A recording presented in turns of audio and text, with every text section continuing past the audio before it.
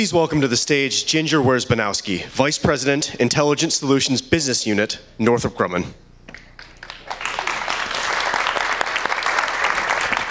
Okay, can everybody hear me? Yes? So I have to start with a little story. It's kind of what I do. So I don't know if you noticed earlier, but I was sitting with my daughter. She's uh, 19. She is uh, just home uh, as of last night from college. She's an engineering student. So I drug her along. I signed her up about mm, a couple weeks ago. And uh, she's like, Really, Mom? Um, but she had to uh, leave midday to go fill out her e-QIP. Anybody know what that is, right? So, she's like, I gotta go get this done. So she's coming into our community. Uh, she's going to do an internship uh, with a defense company this summer and then with an agency next summer. Everything's kind of gliding along. And I think I was a little fearful. Um, I was a little worried uh, that I'd pulled her into a community and, and would she like it? Would she, you know, survive? Would she thrive? And I have to say that uh, as she left, she goes, Mom, this was so awesome. And so I was kind of like, oh, oh, okay, good, that's great. She can, you know, she'll make it, she'll make it. But the other part of me is um, is just excited because you know we are, uh, you know, we are standing on the shoulders of giants. We have all these wonderful women that have kind of paved the way, and men. And uh, today we're going to be talking about those relationships. Those this last of, of, of the entire uh, of the entire day, we're going to be talking about the mentoring relationships between men and women. So whether you're mentoring them or they're mentoring you, so we have a unique opportunity with this panel right here, and we're going to be uh, introducing them in just a second to really talk about how that is valuable. Um, at Northrop Grumman, we just started this thing about a year and a half ago called MARC, Men Advocating Real Change. And you may have heard about it, you may have it in your own companies. It's a, it's a, it's a really neat um, group of people, and they help men kind of bring that kind of necessarily, necessary inclusion into the workplace. So um, I, I, just look it up. Have some really cool YouTube videos, especially uh, for the men in the audience, things that you never thought you really needed to know, but really do. And so I just I throw that out there. But today we're going to have this uh, amazing panel, and uh, we're going to uh, I'm going to introduce them right now. So our panelists today include uh, Tony Cothron, Vice President of Customer Requirements at GDIT. So welcome, Tony. John Fant, uh, Director of Intelligence Programs at Noblis and Mary Legere, uh, Managing Director for National Defense Intelligence Business, Accenture Federal Services, and Nicole Gibson, Principal at Price Waterhouse Cooper. And moderating this panel will be Suzanne Kelly, CEO and Publisher at the Cipher Brief. So over to you. Thanks. Thank you very much. Appreciate that. And I love the story about your daughter. So, wow, what a day so far. You start off with Sue Gordon, and you're going to end hopefully with some um, actionable items that you can take away and start to build a plan for what do I do with all this amazing information. Um, thank you so much for asking me to be here. I'm really looking forward to digging in right away with all of you. Um, so we've heard um, a, little bit of an introduction, but I'd like to give you each just a couple of minutes as well to talk about um, what you do, and, and then we'll jump into some questions about the mentoring role. So would you like to start off, Tony? Yep, great. So Tony Cothron, uh, 31 years in the Navy as a naval intelligence officer, so career career Navy. I've been nine years now with General Dynamics doing business development. It was an easy transition. We do targeting in the Navy, we do targeting in business. It's pretty easy. Uh, but uh, just, I just want just a comment about this and thanking INSA for what they're doing. But the IC, I've always felt is rather special. I'm heavily biased but it's a really unique organization. It's like I tell my kids, you don't know how lucky you are. Everybody that's been in our house has a top secret clearance. They've been polygraphed. They're a special breed of people. And this is a special breed of people here. And, and the threats the nation we face today requires the very best from our intelligence community. So, you know, we need the best leaders. We need the best people men and women. So I, I want to thank INSA for sponsoring this because it's, it will help the community get the right people to lead in this business that's so important. Makes a big difference. Thank you very much, Tony. John. Hi, thanks for being here. And um, again, thanks to INSA as well, too. Um, so background um, for me is mainly um, uh, starting out military, um, eight years uh, in the Navy in, in an aviation and an intel capacity, and then in the private sector for the last 15 years, primarily serving in the intelligence community, in the DoD a little bit too, but from a, uh, an operational and a business development capacity. Uh, I can tell you one of the things that I've noticed over many years now within the IC is the uh, is the is the big talent gap that we face um, with uh, with skill sets at the C-suite C-suite level in the private sector, and then down even um, a technical level as well too.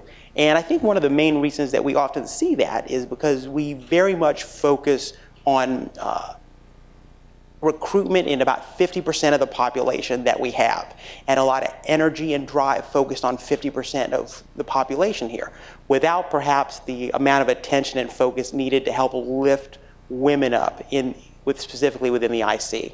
Um, and I look around the room here and I see a lot of those great female leaders that we have within the government and the intelligence community, um, and look forward to help speaking with um, a lot of you later on today and being part of the discussion here today as well. Nicole? Hi, thank you everyone for, for coming today. This is something that's very near and dear to my heart, and thank you to INSA for uh, championing this whole initiative. Um, I've spent 17 years in the intelligence community, um, all on the consulting side. Um, and at, over my career, one of the things that I've observed is I, I have always been kind of the, the only woman in the room, which I, I know a number of people have talked about today. Um, but I've had a lot of great men as allies. This is part of our, our topic today, men um, who've championed my career. And I've always kind of wondered, you know, why aren't there more women championing for other women? Janice just kind of touched on this too. Why are, why are women not being as supportive as women of women in different situations and, and propping each other up? So you've probably seen me um, at, at, this event. I'm very big in the Women in National Security Summit because I think these forums are really necessary um, so we can all network, like Carrie's talking about with AWIC. All these forums are really important to meeting each other and figuring out ways to champion each other in our various career uh, endeavors. So thanks for having me. Thank you. Mary?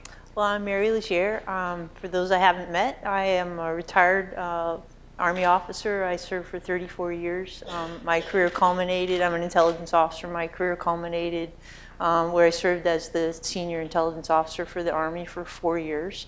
I'm proud to say I was the second woman who uh, was in that position. And as a young officer, as a major, I actually served with Claudia Kennedy, who was the Army's first three-star general, um, and got to watch her um, usher through and push through a glass ceiling that was um, so thick and so resistant to this brilliant woman, and came away from that experience um, uh, determined that this door that she opened, my sisters and I would make sure that we were prepared if the opportunity came to, to walk through it as well.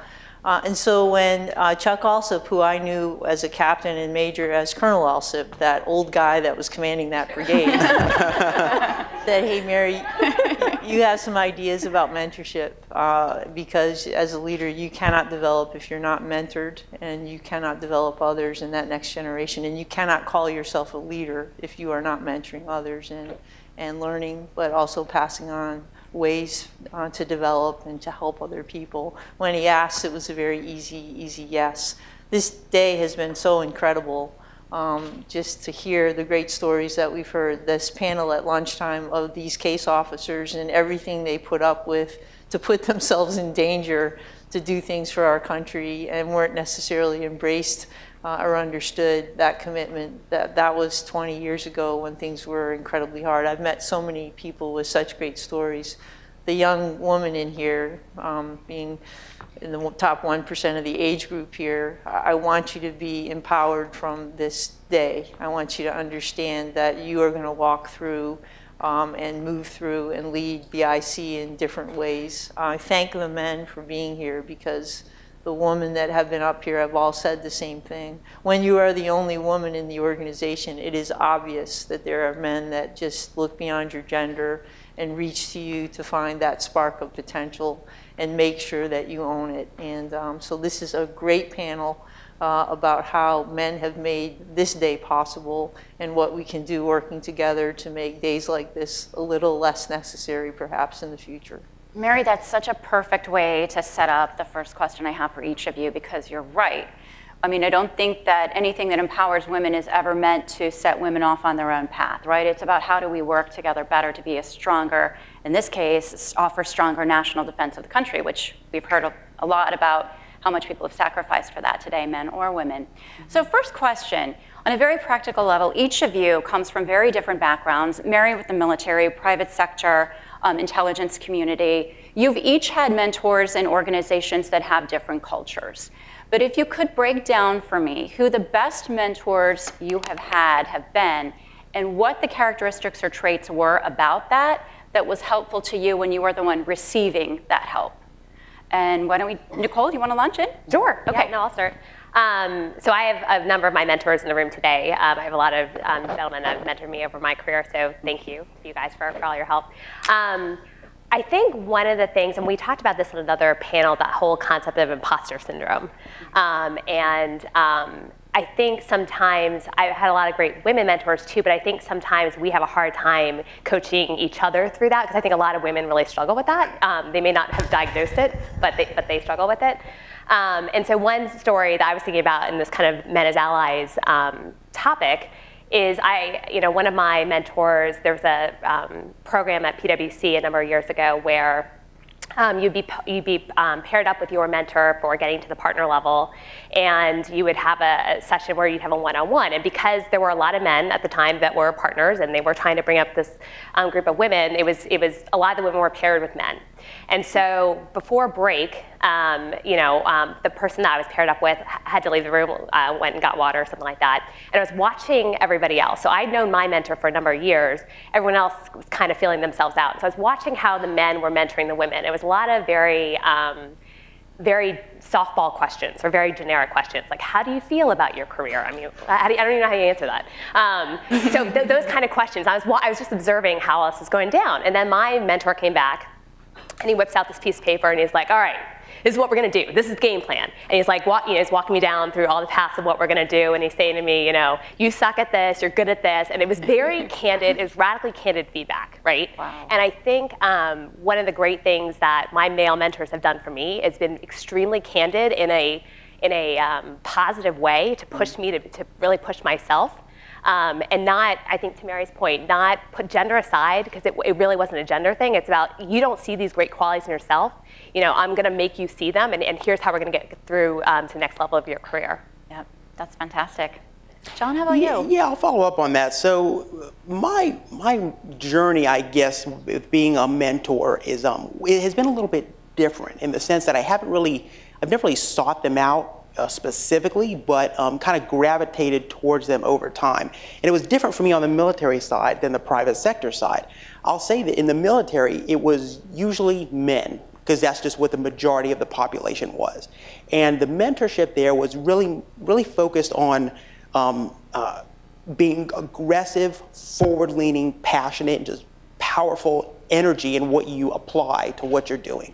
Um, the private sector was like that a little bit, but uh, but different in the sense that there it's been mostly women, oddly enough, where uh, I, I, really took a took a step back and thought to myself, who is it that I want to really surround myself with in order to grow, in order to identify my weaknesses, identify the gaps, and close those gaps.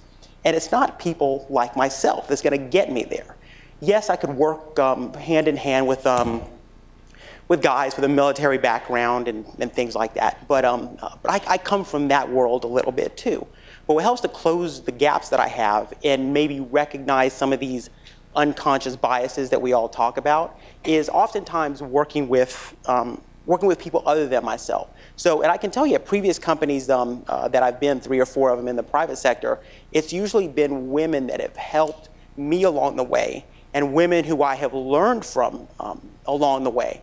And, um, and the, the difference to me has been yes, you have that same forward leaning drive, but there's also an additional element in there as well too that and, and maybe maybe it's stereotypical maybe it's not but just in my experience that women have a tendency to, to not only have the aggressive forward-leaning nature but it's also some additional thoughtfulness there. They, they think before execution in, in a lot of cases where men are generally, in my experience, a little bit quicker to do those things. Um, uh, there's a little bit more uh, on the side of empathy there. And there's also the ability, just in my experience, for more of the, the multitasking aspect of things. So a lot of the mentorship that I've received on the male side has been is completely on compartmentalization and laser focus on things. Where um, women already seem the women mentors that I've had have been able to do that, but also look at that in a multi um, multifaceted, multitasking capacity. Overall, I don't want to put you on the spot, was one more helpful to you than the other? Or did it depend on sort of the task at hand or what you were trying to do with your career? Um, it- no, it, it really depended on, um, uh, I guess, the, the task at hand or the subject at hand or what it is that I was doing. If it was um, more on a, um, a a business, business mechanic side, um, uh, it was one particular person. If it was somebody who was, um, uh, had the overall broader sense of leadership, Yeah. um, it was somebody else. Yeah, someone who could multitask very well. Tony, what about you? Well, as anybody who gets to be a senior kind of rank, you didn't get there by being mentored a lot, both men and women. I, and I was very fortunate from fir- my first tour in the Navy and every tour since then in, in business to have a lot of very great mentors. But I think my best mentor has been, and model has been my wife, who was a Navy officer herself, started in the Navy. She was the, in the first, she was the first woman in Navy ROTC when they opened it up for women. And I think her story is one, and I've heard it, you know, a thousand times, and she's told me and told others.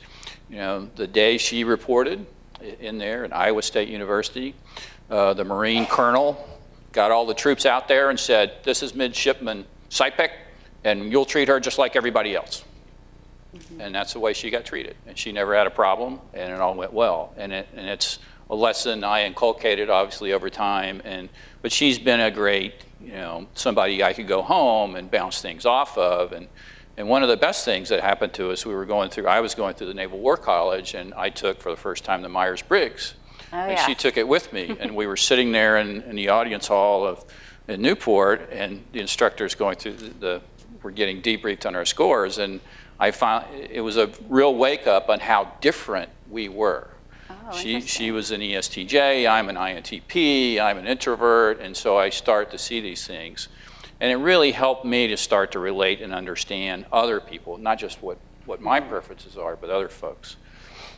And then I guess the last thing I would say about great mentors, uh, and, and mentor for Mary as well too, but when I, I took my first command, I was in Molesworth a few weeks before 9/11. My my boss was the first woman J2 theater combatant J2 European Command, uh, Brigadier General at the time, Barb Fast. And Barb had been there for a month. I'd been there three weeks, and 9/11 happens. Well, it's pretty intense times, right? And it wasn't about mentoring, it was about getting the job done. And I certainly didn't do everything perfect, and we had some intense conversations. But I, but I will tell you, there's never a better leader I worked for and someone I learned from a lot and have used, you know, lessons from that uh, about how to lead, how to work, and how to get things done. And she was a, she's a terrific officer uh, and, and very focused on people herself. And just the opportunity to, to, to, to learn from that experience, again, very focused on the mission. I think most, most of the problems and most of the challenges, if you're really focusing, hey, what do we need to get done? Right. Who is the right person to do that? And if you're open to, to saying, well, this person can go do it. And I think the challenge we have, and particularly as leaders, is helping that person get ready to do that job. You have to let, be willing to let somebody, you have to give them a challenge, but you also have to coach them into that. Uh, I, I can remember a couple opportunities, one very vividly where I had this young woman given this uh, small task to do as we were bringing some visitors through an operations center and she failed miserably and my boss was embarrassed and i was embarrassed and it wasn't her fault. It was my fault because i didn't take the time to make sure she was really ready. She just froze as she went into the brief as young people will do. Mm-hmm. I didn't take the time to rehearse that with her and make sure she was ready to go. So i failed her in that time. So i think there's a lot for us if you're willing to say hey what do i learn from my failures? Mm-hmm. And how do i not do that again? And are you willing to receive the feedback I'm a huge believer, and we learn way more from our failures than we do from our successes. So it makes me feel a lot better about all of my failures. Mary, what about you? So I'm one I'm fascinated by the the, I, I too am married to a military member, and, and at a time when men were uncomfortable in the early 80s, senior men or even mid level men were uncomfortable reaching out to the one female lieutenant in the unit and really saying, I want to be your mentor. I had, an, I had a mentor in my husband who was a military officer as well, and we certainly didn't get married so I could have an in house mentor. But he and I, he and I were experiencing our careers together. And I always, when I was reluctant, and you'd find it hard to believe now, but when I was reluctant to ask my boss for a little bit of extra advice, because you know as a lieutenant and captain you want to burden your boss he's got things to do you'll find somebody that'll eventually take you on i always had my husband to bounce things off of to say why am i getting this reaction but my first mentor and i you know my, my, my dad who is, is 91 I, this is not attribution uh, my, my first most important mentor was my mother who just I was her only daughter. There were four brothers. She kept an eye on me. She was one of 13, a great leader herself, a great teacher. And her life lessons as she watched me when I was in brownies and being a little bit of an insurgent or being a leader in my school, um, she would watch me and from time to time pull me aside to ask, you know, and, and talk about what was happening. And one of her, one of my leadership principles is, is you're looking at teams you have to look really deep and find the best thing about people so Yes. they can contribute in a way that's unique to them. They can feel included. It can't always be about the superstar. It is about making everybody feel like they're part of it.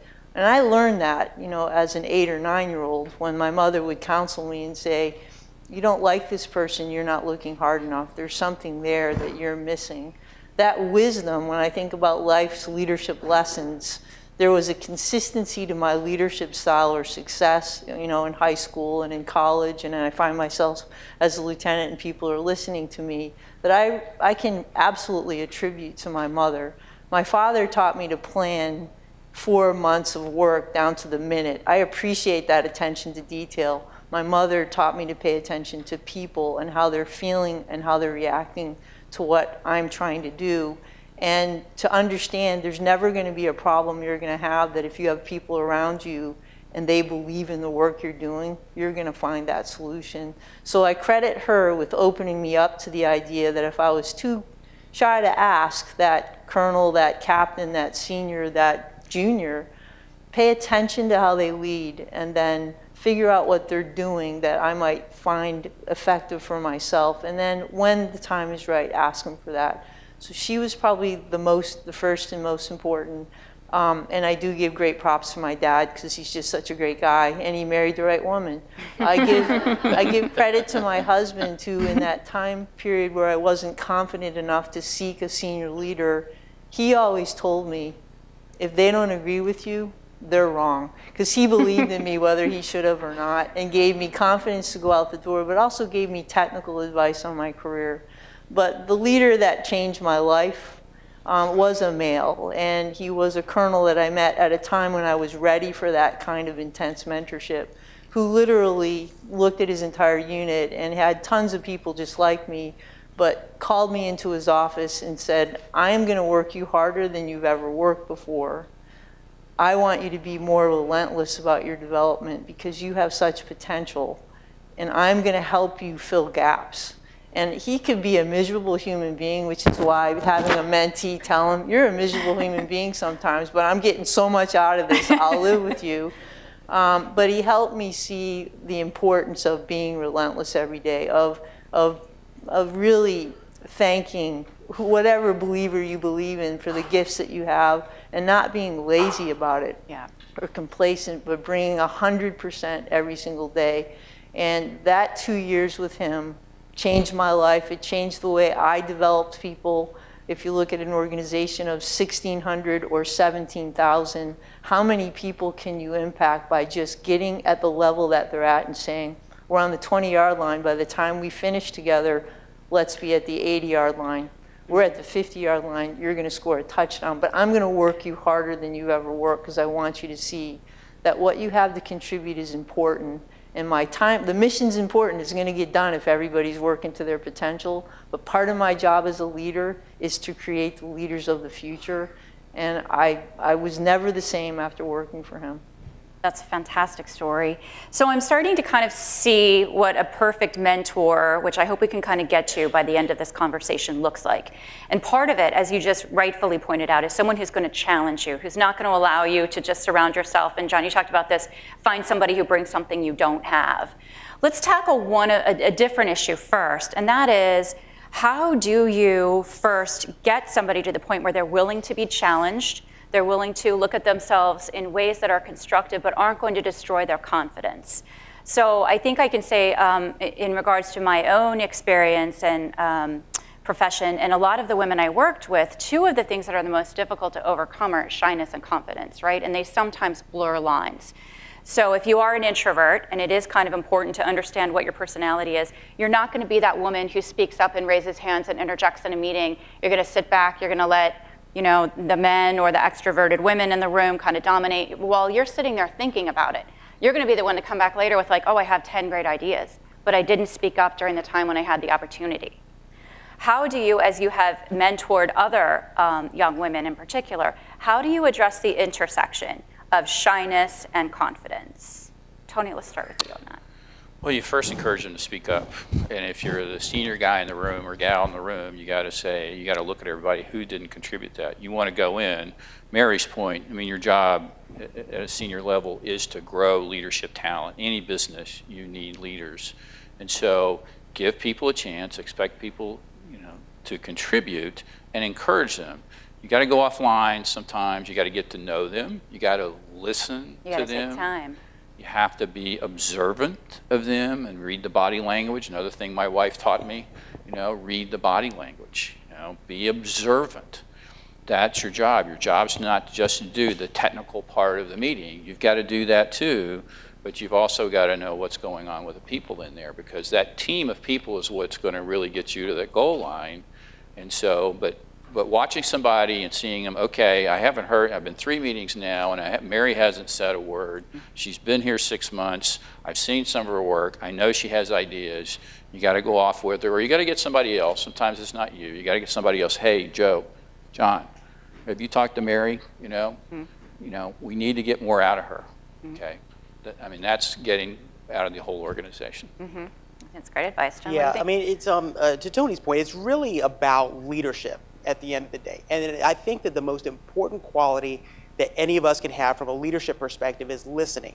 Okay, and it takes a takes a little bit of extra time, a little bit of extra effort to, to listen first, understand your environment, understand the people really well, and you got to do that beyond just a group setting in many cases, mm-hmm. right? So you, I think it's something where you need to take the time and take the effort to get to know people on a very individual level so that you develop that sense of comfort with individual people. And sometimes these ideas will flow um, a lot better that way, and people will become more comfortable with you. The people that um, you work with become more comfortable with you, and um, they also learn to trust you more as well too, and share those thoughts, share those opinions, and then over time you start to understand what it is that you need to help advance from their ideas uh, and their initiatives, but how who you really want to work with as um, as a mentor and a mentee to help advance them along the way. Because odds are you, you're going to be around people that have the passion, that have the energy, but just don't feel comfortable yet in their respective environments to help push that forward. And it's a two-way street. We as leaders have to make sure we help to extract that while they're trying to push that out as well. Yep, this is good advice. One, one of the most effective techniques that I've seen, uh, first and foremost, if you happen to be the peer um, of someone who is naturally shy, but you know they're bright, you've got to help them find their feet and just encourage them and say, look, you, you got a great, great ideas. And the, the thing that I, you know, I've learned not to be shy, but to say, hey, you've, you got. A, I've heard us talk about that. You've got a great idea. Could you bring that to the table? But this boss I work for in, in Korea used to tell us before. Uh, there was a great comment of, um, "You better take notes if I'm taking notes. You better be ready because at any point I'm going to call you into this conversation."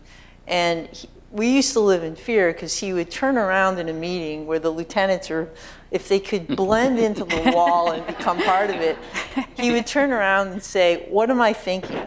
So at no point in this engagement of professional development could you fall asleep or drift?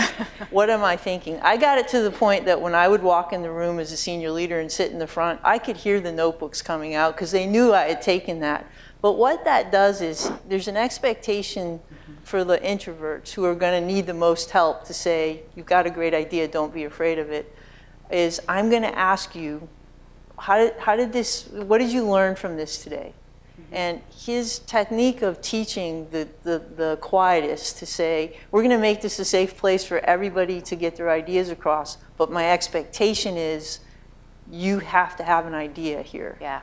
And so we used to take the lieutenants aside and just say, look, if you get panicked, just say, I learned about holism and synergy here today, sir, because it's probably going to fit.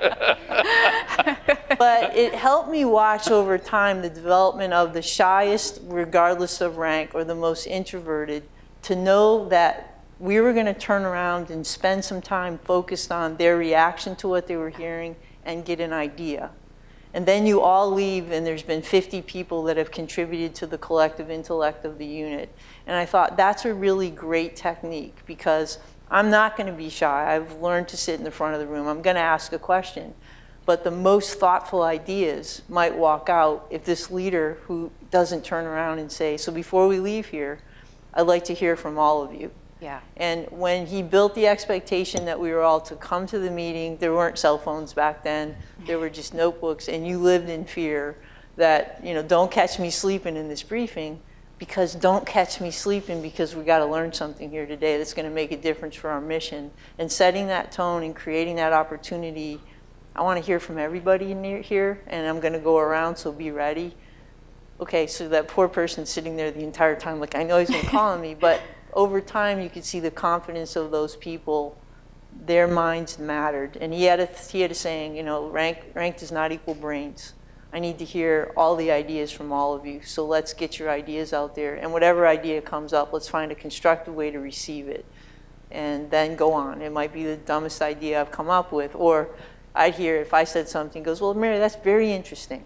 and then I know, boy, I blew that one. But anyway, so I would give you that as a technique because it was one that I learned that helped me bring my introverts to the table and help them become more sensitive. But what you said, getting a leader to go say, hey, next time speak up. You have something to say, we're all listening, is really, really Fantastic helpful. technique, too, for both mentors and mentees, right? Because everybody's getting, how many times have you been to a meeting and, and you walked away thinking, that was fantastic? Never. But I think when everybody's engaged, right, and you do feel like at least you're, you're valued, whether you're outspoken or not, um, is the start to, to creating amazing meetings and things that really energize and inspire people. Nicole, what do you think? Yeah, I was going to build on what Mary was saying. I think um, one of the things I used to do, I was coached to do when I first started doing consulting, you know, people would remind me of how much it costs per hour. And I, so I always had that kind of in my head, like you cannot go to a meeting and just sit there and, and just observe because the, the people are paying money for you, right? So you always have to be ready with, with an idea. And so I would study. I would look at what we were going to do to, to the extent that you can in some of these meetings. You know, what is the topic? What can I add value? And, you know, the first couple meetings were a little rough because I had my, you know, I had my points, I had them memorized.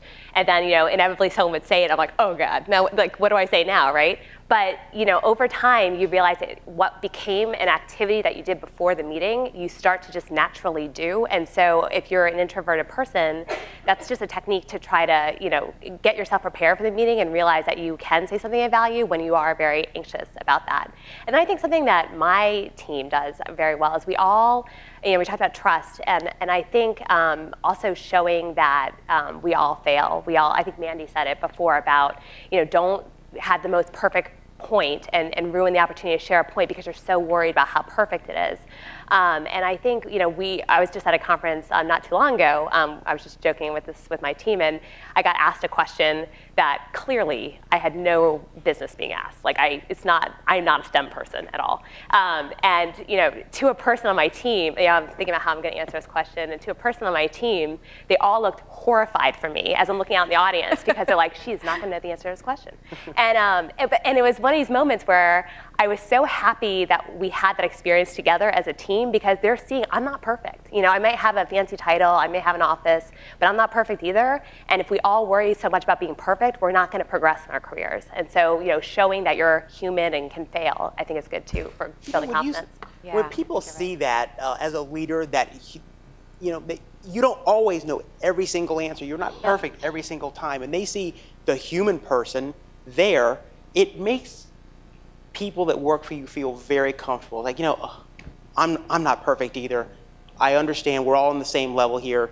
Let's get together and share, our, share what we know here and, um, and work as a team. Totally. If I could just throw in too, like younger, uh, when I was much younger at the beginning of my career, I had a job where I was an anchor for CNN International overseas for a while, and it's very intimidating to be in front of a camera, even though you're alone in a room and think that millions of people are watching what you're saying, and talk about fear of making a mistake. and you can't possibly memorize everything. But what I really quickly learned through making a series of mistakes and fumbles and misspeaking my words and not having anyone there to turn to to save me because you're by yourself it's just that people do relate to you better when you're okay to laugh at yourself. You're okay to be like, oh gosh, I can't believe I just said that. All right, well, back to what we were talking about. Yeah. And, you, and you're alone in the room, right? So it's a little weird. But I, I do think the failure, the failure is important. Um, so I think that's a great point, and people do feel more comfortable with you. Let's talk about a little bit of um, the elephant in the room, but maybe not so much here today. Um, the Me Too movement, right?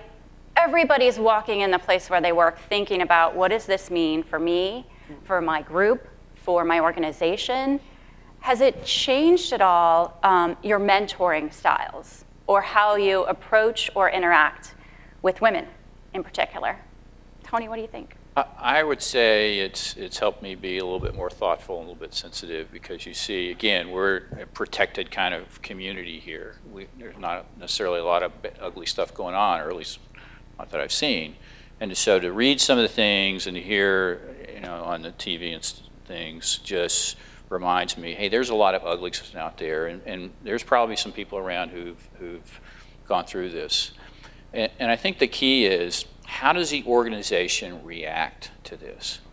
I, I was at sea uh, when the uh, first few years we were having women at sea aboard ships.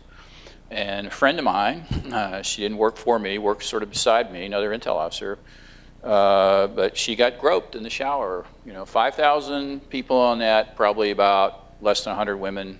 So she got groped in the shower. Somebody flipped off the lights and groped her.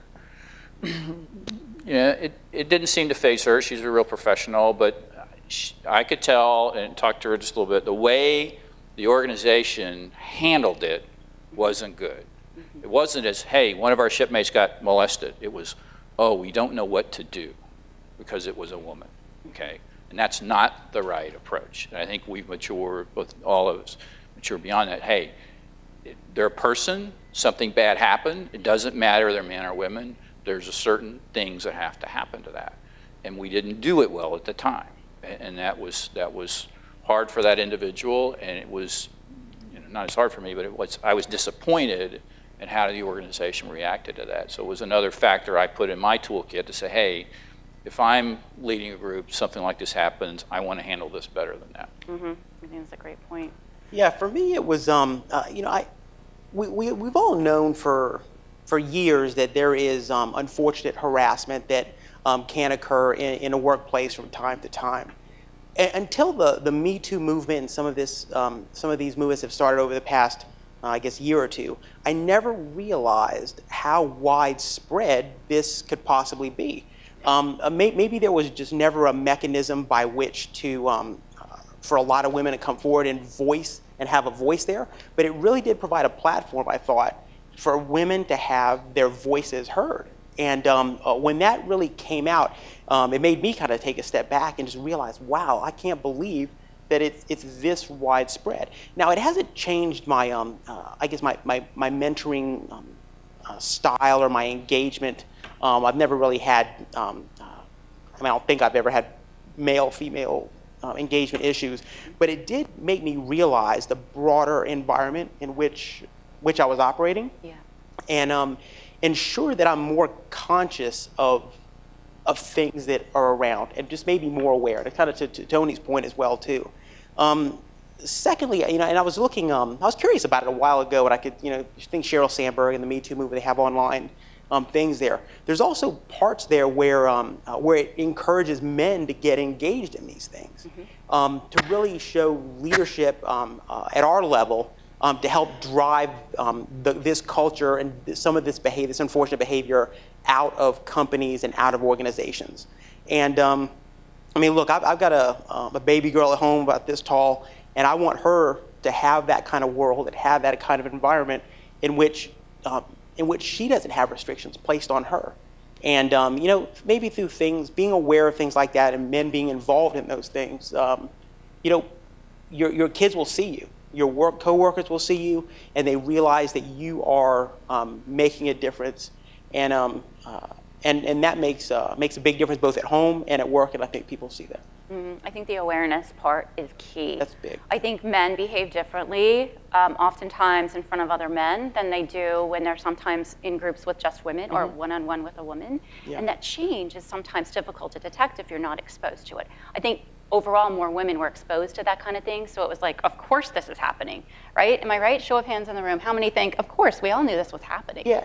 Right? But how many men were clued into the fact that it was happening and were aware to know what to look for? I think is an important Yeah, before, point. before you um, um, talk to Nicole and Mary, one other thing on that point was that it made me realize that there, I'm going to have blinders on. Um, Tony's going to have blinders on. Maybe we all do to some degree. There's things that are going to happen in, in a broader context that looking at it from the lens of, um, of a man are going to be obvious to some of you, but I'm just not going to see. And uh, me being aware of that, uh, having that awareness that, hey, there's things going on, I don't have all the answers, I'm not going to see these things, um, is just helpful to know and keep in the back of, back of Nicole, what about you? Was it did it change your style or? Yeah, I think, well, so it, it had an interesting impact, not necessarily my style, but um, in how I listened to people's um, discussions about this. So uh, you just asked the question, you know, how many people has have, been, have had a kind of Me Too situation, and, and almost everyone in the room kind of raised their hands.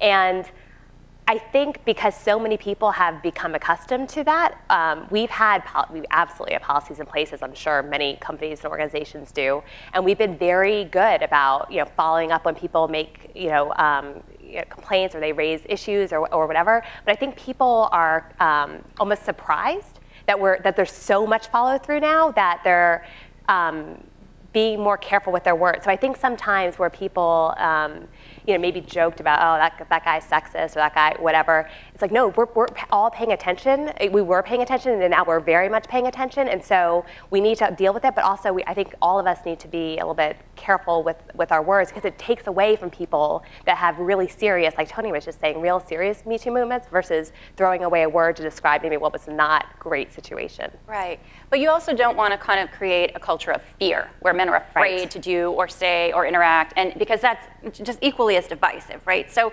Mary, coming up in the military, right? You you saw a lot of things. I'm assuming, correct me if I'm wrong, that you kind of had to brush off and keep going forward as a sort of a strategy for dealing with that. Yeah, and so I think, um, Tony, you were still in, I think, at that point when the when women came in in numbers, and it really wasn't large numbers, and we didn't prepare the total force for the impacts of those things, and we didn't have the language uh, to describe it, and we didn't we didn't prepare the services for racial integration. We didn't prepare the services proactively for gender integration. One of the things that we can take some pride in is when the rules on um, the, the, the, the ban against homosexuality was lifted, we spent a year or so ensuring that when we talk about dignity and respect for all service members, we mean it. We're behind it. There is not a side comment. This is a fellow service member that you are going to treat. You have personal, religious, whatever beliefs you have. We are now inside the United States Armed Forces, and these people are equal. That is a reaction to how badly we did it mm-hmm. as we did racial integration in the 50s and then really gender integration in the 70s and 80s. So the Me Too movement took a lot of us back to the Aberdeen and Tailhook scandals, where the reaction of the men as the sexual harassment training and assault training came down was, ah, and now we have to be sensitive around women. That wasn't the reaction that we were looking for. What we were looking for is this is a small percentage let's take ownership and believe in our values in terms of how we treat other people with dignity and respect. Let's get on the side of the angels on this because it's most of us. This kind of behavior is what inspires teamwork of people looking out for each other as fellow soldiers, men or women, fellow service members. It's not protecting the man or woman that are using their position to make the lives of those people they lead or are led by miserable. And so we went through that as a service, and then as you watched more women come into the workforce and into the services to say, you know, 99% of the men in here get it that this is a team and a team works together and it is not pejorative toward one another and it shows respect and that inclusiveness is important to our mission of combat effectiveness. Um, but let's start addressing the 10% that don't get it men and women. I don't care where you've come from. I don't know what your background is, but when you come into our service, we have an expectation that the sons and daughters that are our responsibility are going to have an inspiring experience. Right. So get with the program. And so we watched, as, as someone that left the service, you know, about two years ago, I watched this and said, this awakening is important. I had no idea. You know, you hear stories about Hollywood, you hear stories about other sectors. You see it in business mm-hmm. where there are no women. And I can walk in and spot it. Where you guys would be helped by the other 50% of the population helping you think differently. You would also be helped to know that when your daughters come to work on Take Your Daughters to Work, she sees a place for herself. What do you say to your daughter when you have a work environment where women aren't welcome? And so I think we, I saw that as somebody that has been through it with my own institution, an institution which continues to work at getting better at it. What I didn't see the second time was a retraction of our males saying, we're not going to mentor women, we're going to be afraid of that. It was, no, we're going to continue to do the right thing. These are leaders, men and women. We're going to, we're going to do the right things. We're going to continue to recognize we can't just mentor people who look like us because that means service members of color and service members of, of different genders who don't look like us, who don't come like us, are not going to be leaders of the future. And that's where this Me Too movement needs to go next. In each sector that is still grappling with their own honest appraisal of, is there a power play problem because there's a, a gender inequity? You know, I came to the intelligence, the sector, you know, industry I was very specific in what I was looking for. One, my general experience with industry as a senior leader is always going to be good, right? Because if you have billions of dollars, people treat you great. Um, but I also looked for companies where those principles were important, where it wasn't just we say it because we got human resources people saying it, but you get a feel for companies in this industry who work in the intelligence community who are committed to inclusion and diversity. And I, you know, I, I, work for Accenture. They have a very broad goal globally to be 50% gender diverse by 2025. Mm-hmm. They're serious about this. They're not serious about it just because it's the right thing to do, but from a bottom line perspective, the diversity that is necessary to lead this through this world with these challenges is to employ the best people in the population. And for the countries that are still struggling whether women should drive or whether women should work, well, I don't worry about us falling behind them because we have at least got that right. So I would just encourage all of us to reflect on what Me Too means to this generation. There is an open dialogue now going on where women who and men who have been victimized are being believed. Yeah. The he said, she said, Yeah. she said, he said. The assumption is something happened. And let's deal with that pain and let's find those leaders and let's either eliminate them from the scene or help them evolve. And that's a major shift. That's a major I, shift. I love your message as well that despite the failures or the scandals that get the attention for a few minutes, instead of just responding to that, you're doubling down on the mission and the core values of the organization, whether it's your company or whether it's the, the military. That you're saying our mission hasn't changed just because this happened. I think that's a huge. In the media, we tend to gravitate toward the things that happened because it's far more sexy and interesting and makes a better story, but it's not what's going to get you to becoming a better organization. I I- think that's a great point. I think that's how you solve the problem. You got to focus on the mission. You got to go back to your core values and your principles. That's how you see a path to get through this every time. Stick to it. So I'm going to open up for questions in a second. So I'm going to give everybody just a, a chance to kind of gather a question and then raise your hand and we'll, we'll let you take the floor. But I also want to just challenge everyone and then we'll have a quick discussion about it here. Um, to in front of you on a piece of paper, take a pen. One of the things that I did when I was at CNN is went through this great program that was meant to identify leaders and help bring you up and find mentors. And it was never um, told to us to go find one person, which is very difficult to do. And this is picking up what we've heard every single one of you say so far today. You need to kind of understand your own strengths and weaknesses a little bit and put together your own board of directors. So, what I'd like you to do is just jot down on a piece of paper who are the four or five people you would choose. Some of them might work with you, some of them might be outside your organization, family, friends, whoever would be, who you feel like would round you out as a person um, with skill sets that you lack or you need, who'd be able to support you, to challenge you. The things that we talked about are important in a mentor. Who are those five people? And what I'm hoping is by the end of this panel, this will become the beginning of your own personal action plan. So if you were going to add to this action plan, um, now we're kind of getting a sense of who we are, strengths, weaknesses. You've given us a great blueprint for how to put something together that we can act on. What are either the pitfalls that we need to be careful of when thinking about how to um, implement some of these things we talked about today in being a mentor, or what are some of the opportunities that are often missed for mentees um, in finding a mentor?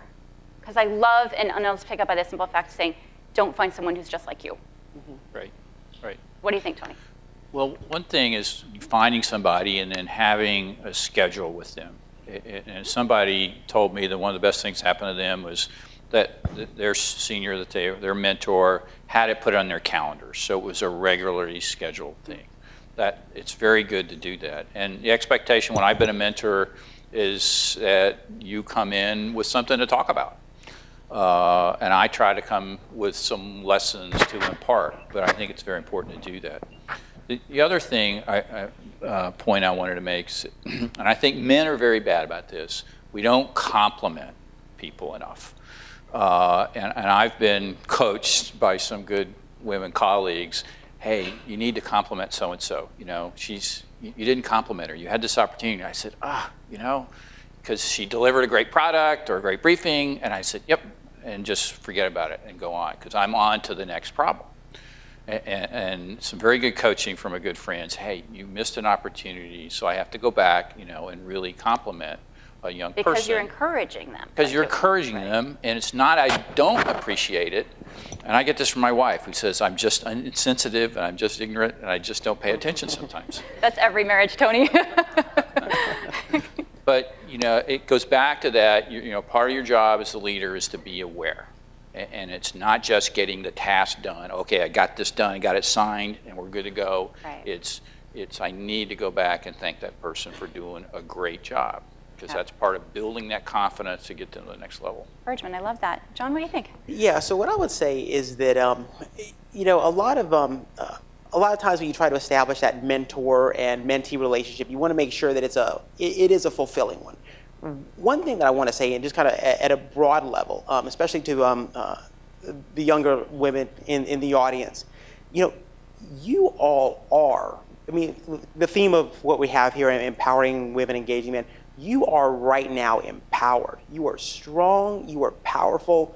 You just make sure that you also have the confidence to realize that and understand the value that you bring to this community um, uh, and to all these organizations as a whole.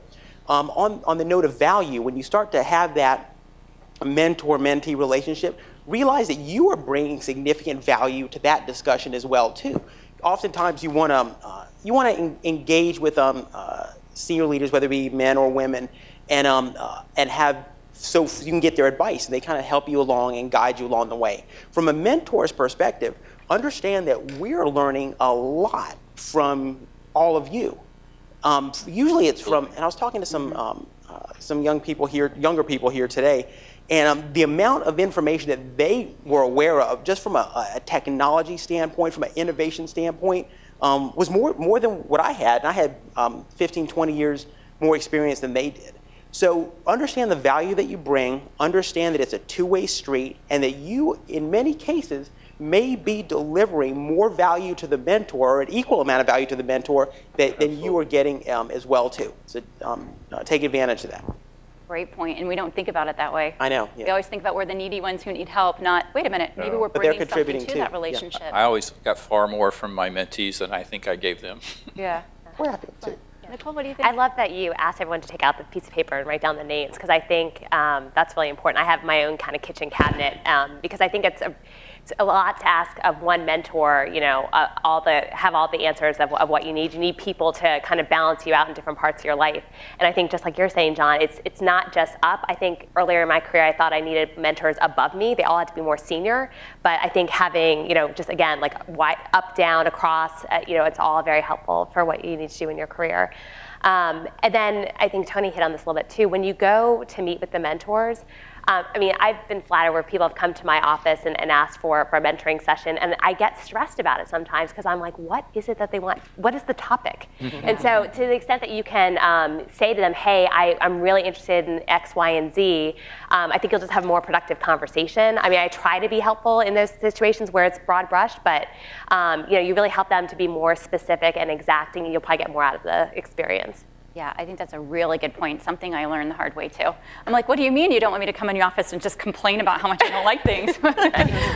that's fine for me, but you're absolutely right. If you go in there with a targeted idea of what you want to talk about and discuss, you know what the problem is, much more organized. I like that. Mary, I, what do I you want to make two points because I think I, when I agree with everything, I, I see the peer mentor, having a peer that you're completely comfortable with, who you admire, who's managing themselves, who can give you insight.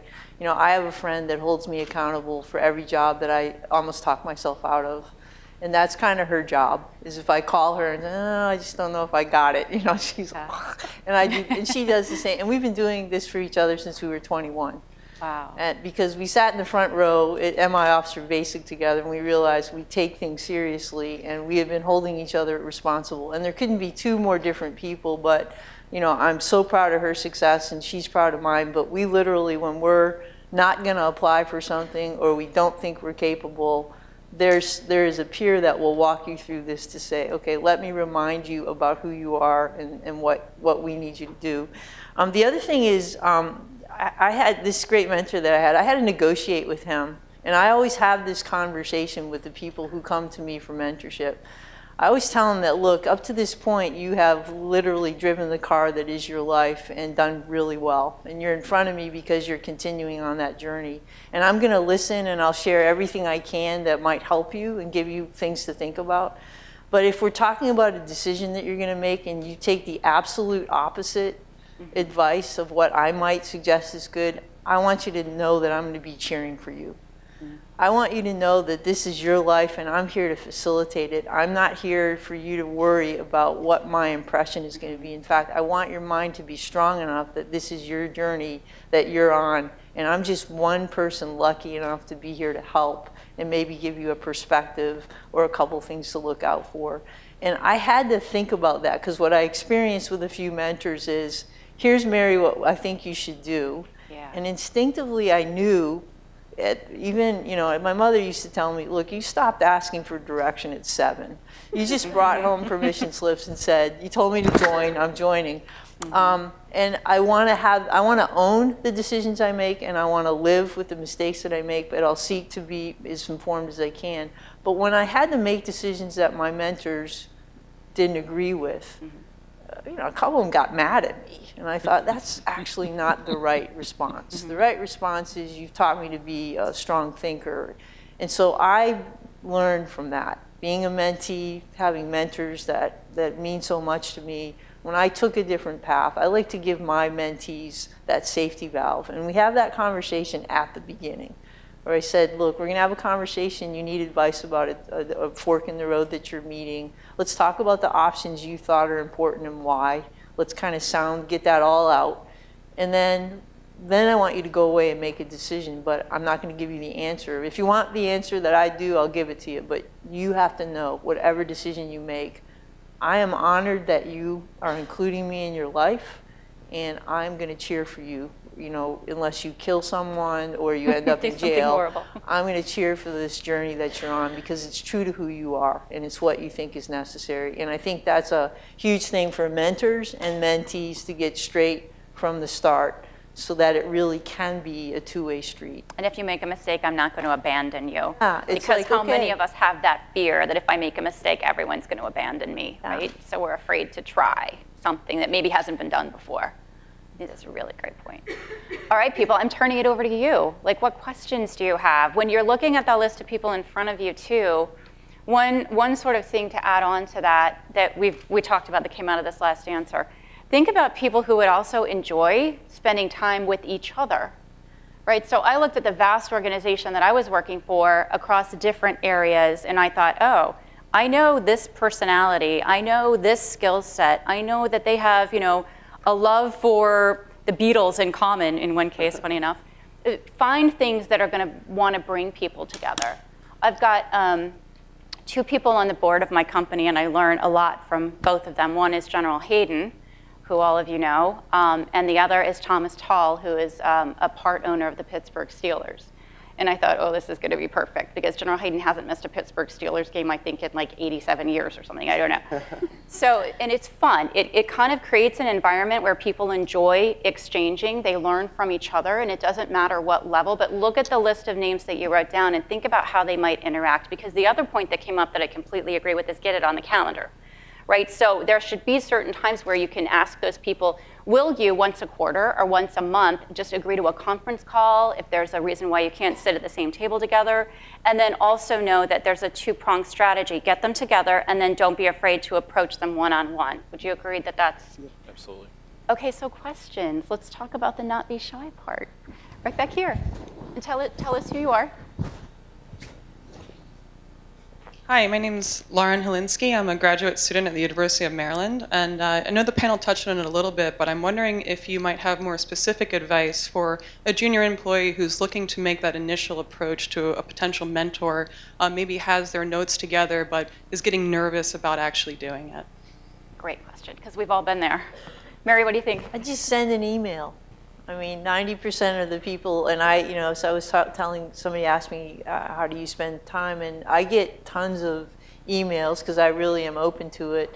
Of I could, you know, I'm a, I'm a college student and I'm interested in the IC, and I may not be the perfect mentor for you because I might have a little too much distance. But send an email and we'll figure it out. And then it might be okay. This person's going to be perfect for you, or let's work together till we know a little bit more about each other, and maybe I am your perfect mentor. But send an email and you know, and you can always say, well, I, I hope, you know, I realize you may be too busy for this, but I'd appreciate if, if you can be my mentor, if you might recommend one to me. This is kind of what I'm doing. And don't overthink the first meeting. I mean, Yeah. if you get a mentor that's like you're not organized enough, and you know, then honestly move along because that's not going to be much fun. Um, but but I do think respect the fact that when you're dealing with a senior leader, and I wonder sometimes you get I get like emails from a college student that I, when I was a three-star general, I'd like you to be my mentor, and I'm thinking. Yeah, I actually think if I connect you with a 25 year old, you know, captain who just got into Intel, he or she may have more important things to tell you right now, but I will be happy to find that right person for you. And so just send an email. Don't be afraid of that or walk up to them. And everybody's on LinkedIn. It's the adults' Facebook, you know, so Hey, Tamara, I, I just wanted to follow up with that and say, you know, I was always afraid of that initial contact, you know, that contact with them. A, don't be afraid. The worst that's going to happen is they don't respond. Um, and if they don't respond, email them again. Because you know what? Sometimes they're just busy. Sometimes they get 500 emails in their email box and they need that follow up to say, oh, yeah, I forgot I, I was supposed to contact her. So, you know, don't just stop it. And, and you'll know. You'll know if you email three times or four times that, okay, they're not interested. You're outside but, their But you shouldn't be afraid to do that. You should be afraid because they need that reminder. Um, and so, sorry, I just wanted to I would have two things for you. One is, you know, it doesn't have to be a senior person to be a mentor. Mm-hmm. I mean, I- some of my best mentorship are from the people just a year or two ahead of me who've done the job I've in. In fact, my advice is always go get, go talk to somebody who just did the job you're going into. And the second piece of advice is, if you really have somebody and they are, you know, a little bit more senior, go talk to their staff. Go talk to their executive assistant. Go talk to people who work for them and say, hey, does he or she, will, do they mentor anybody? Will they, do you think they talk to me? I mean, do your, you know, IPB as we call it, uh, uh, go, uh, go Intel do the preparation of the battlefield. Yeah, I learned I'm that Thank you. acronym, you know, translator here. I think it's also important to remember that um, everyone I've ever asked in my career to help mentor me has been more than enthusiastic to do it because it's a real, it's a real honor to be asked to be a mentor. And so, um, you know, you're, you're giving them a gift to say like, hey, I value your opinion and your perspective. You know, I'd love to talk to you more about that. Don't underestimate like how good that makes people feel. And I don't think it, I don't think it gets old. The, the more you progress in your career, I think people are still flattered by that. So you have a lot of power in that. Yeah, the only other thing I would add, whether it's um, uh, whether it's asking for uh, a mentor or asking for that other job recommendation and things like that, um, uh, take a step back, take a breath, and realize is kind of a, a little bit as I was mentioning before. You are strong and powerful and confident, whether you believe it or understand it or not, and it becomes a little bit better with experience um, and over time. But um, uh, I think it was Diet up here earlier saying, you know, kind of do your um, uh, Superman or Superwoman pose and look, talk yourself up in the mirror, whatever it's got to, whatever kind of works for you. But um, uh, remember that whether you know it or not, you are stronger than what you may feel um, Yep. right now. Very good point. That comes with time too. Yes, Hi, I'll just speak loudly. Um, Amelia Sharenza. you have a microphone right behind you. There you He go. just wants to give you. you that microphone. Amelia Sharenza from the Boeing Company. I'd be curious to hear carrying forward the theme of you know the two-way street, the mentee and the mentor. Um, I, a lot of times I like to think of it there are no mentees, everybody's a mentor in some way. Would each of you mind sharing an aha moment or a learning moment that you received from a mentee uh, that made you made you stop or made you stretch farther? A great question. Um, so General Dynamics has a mentorship pro, a formal program. So every year we get paired up with some, you know, high potential employees. And my very first one was this young lady, and she was down in Miami, and I'm up here in D.C. So it was kind of difficult to get to know each other, but it was instantly a good click. But she, I mean, I really learned more about her because she was in a job where I didn't know much about what we were doing in the business. So she was constantly teaching me things I needed to know about what's going on. But, but sort of the culmination of this is she went through this process of where she was going to leave and go to the government. And so she called me before she formally told her chain of command or anybody else to talk through this. She said, oh, I got this opportunity. And it was a, it was a great conversation that, that I was, you know, just privileged to be a part of it.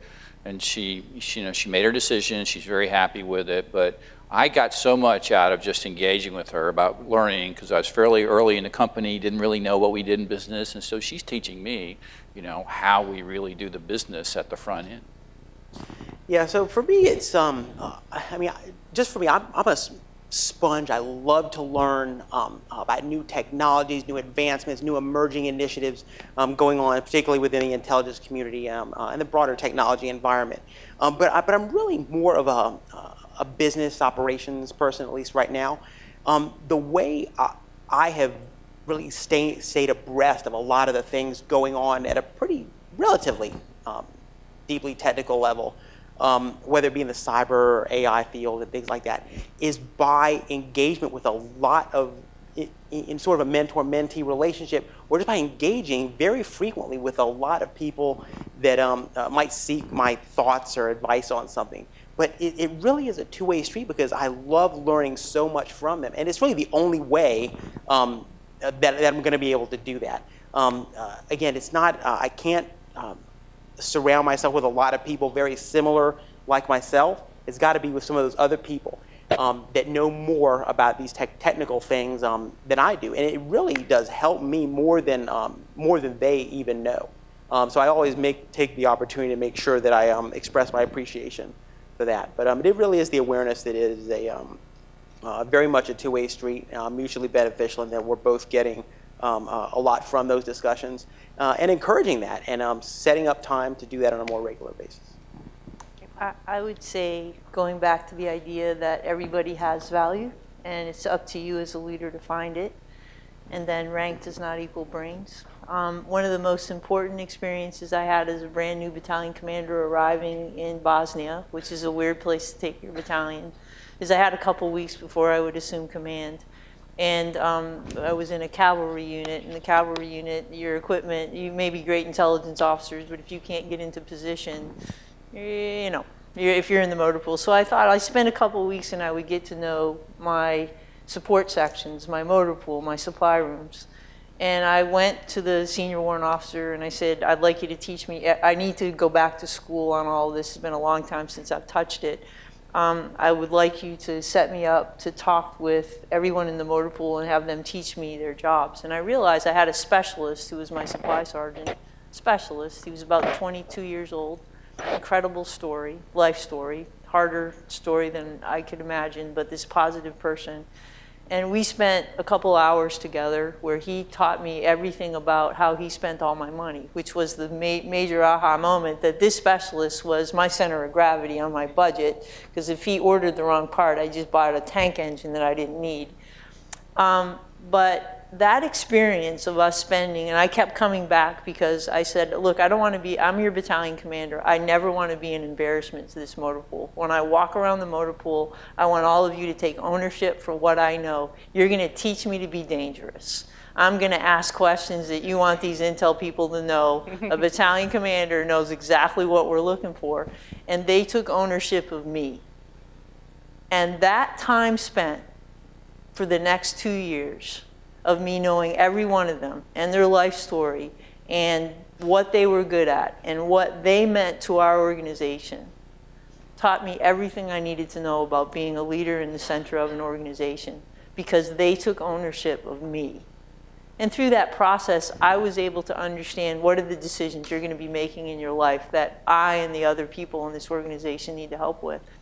So it was one of those moments that I will, I can see him and I can, you know, the warrant officer was like sort of drifting over to make sure the specialist wasn't getting it wrong. But he was so engaged at teaching me everything because he's like, ma'am, you're my lieutenant colonel and I'm going to make sure you have this. That's something that you apply everywhere. And so I'm an Accenture now and I have opportunities to meet designers who don't talk to engineers. And I'm fascinated by the, that difference of I have a beautiful design and the engineer's like, and we're never going to be able to do this. but, but I'm sitting in the middle of this chaos saying, but something's going to come from here. But that respect for what everybody brings to the entire effort was my aha moment. And people say, how are you successful? And I, I would say that moment with that individual, you know, harkening back to the lessons you learned at the kitchen table, but applying it in life. Mentors come in every shape or form. That 21, 22 year old made sure his battalion commander at 40 years old never made a mistake in his area ever. Every time I stood in front of that formation, I could lock eyes on him and his entire section. They owned me and I owned them. They were about maintenance excellence and I cared and that demonstrated a commitment to one another that I just replicated everywhere else in that organization. Because um, candidly, MI soldiers don't re-enlist as often because they have the four times degrees and they're all smarter than you, but those maintenance kids will stay with you forever. So it became one of those. you but, invested in each other. But I say that to all of you, that your mentors are going to come in many different forms, and you, for the rest of your life, if you treat it correctly, you will seek to be mentored, even at my age, uh, with with people much younger than you, because it's you're all, it's all about learning. Okay, so I'm getting kind of the wrap-up signal. So what I'm going to do is a quick episode of speed dating right down the line. When you're looking at uh, the names that are in front of you, I think Mary just brought out a great point. Make sure that those names that are on that piece of paper are people you want to build a relationship with and invest in over time and who are likely to invest back in you. But we have 30 seconds for each of you. Mary, kick off. What should we be doing next for our action plan that we've already started? Okay, if you don't have a mentor, this is why you're here. Uh, go forth and, and, and make that attempt. And if you are a mentor, I hope you've listened to all the things that have been said today about how important and impactful you are and, and dedicate yourself and part of your busy days and times to that. You should be, that should be chicken soup to your soul. If you've been lucky enough to be a leader, you have things you can share. And it, all it costs you is time and passion with that individual. Go do it. Nicole, what do you I'd think? say send an email to one of those people on the list, um, just like Mary was saying, um, and, and, connect with them soonest, because I think that'll that's a good action to take out of this. Um, and I would also think about, you know, um, what thing can you do in the next meeting that you're in, be it a big, you know, corporate meeting or something on client site, where you can help to encourage someone to speak up. Um, what, what opportunity can you give to give someone the floor who maybe is a little bit more shy and reserved and, and have them give them an opportunity to speak up? Yeah, the only, the only thing I would add is to, um, and, and I'd mentioned a couple points about um, knowing your, your strength, knowing your confidence, and knowing your value. Um, if you haven't done it already, take some time, um, understand uh, the elevator pitch, and understand um, the key things that, that make you unique and make you strong, and be able to articulate that. And um, uh, take the time to craft that, understand that, and commit it to memory. And, um, and over time, that becomes sort of contagious to yourself. And, um, uh, and you start to exude that sort of confidence when you really understand, know, and believe in yourself and believe in your value. Mentorship is about relationships, and relationships are everything. But you have to work at it. You have to water those. You have to nurture those relationships. Don't ever let the relationship, unless you want to kill it, but don't ever hmm. let it go. And so make sure, take the time, just an email, just a phone call, or just a note, but you, but nurture those relationships. Go back to those. I still go back to that young lady that I helped a long time ago and say, hey, how, how's it going? Mm-hmm. check in on them. Thank you so much. What a fantastic conversation, a fantastic panel. I love your perspectives. Thank you to INSA and Suzanne and Chesh for bringing this incredible group of people together and allowing this exchange of information. Hopefully it's helpful, and thank you.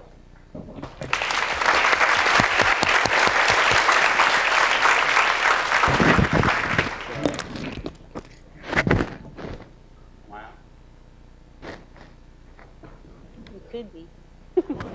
Would you like to use mine? There we go. That on? Okay. So, yes, I am the old colonel, okay? But I, but I, but I didn't think you thought I was old at the time. That was 23 years ago, okay?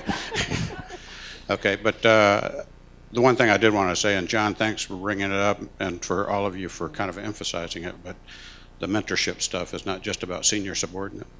You know, it's, it's really about, you know, finding people that are fortunate to have an experience that you don't. So thanks for bringing that out. I think that's really important. And to emphasize to the junior folks to take the opportunity to do that. But uh, thanks again to our panel. I'm going to ask you guys to, uh, where's Suzanne? She's over there. She's going to give you a little memento off stage, okay? Uh, we're going to reset the stage. I'm going to ask you guys to stay in place uh, here. We're going to reset the stage uh, with a podium, and then we'll get to our final keynote speaker, who is the only thing in the way of our wine after that, okay? okay, thanks again to our panel.